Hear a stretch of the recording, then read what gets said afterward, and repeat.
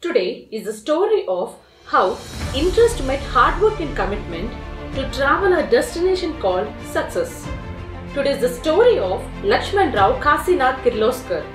Born on 28 June 1869 in a small village, Gurlahosu in Belgaum district in a Brahmin family where his father Kashinath Pant was a Vedant Pandit. Breaking the society's expectation of being a Pandit, he entered the field of engineering and technology. Lakshman Rao was fond of two things mechanical objects and painting. Against his father's wish, he joined a college in Bombay. Unfortunately, he had to quit after two years as he was found to be partially colorblind. He gave up painting but continued to study mechanical drawing at the institute.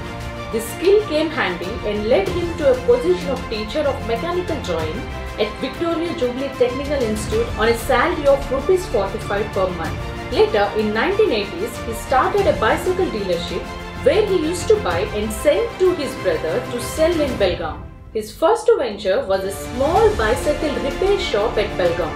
Next, he started to manufacture iron plows and chaff cutters, but it took nearly two years for the first sale of iron plows because the farmers believed that the soil would spoil if they use a plow made of iron.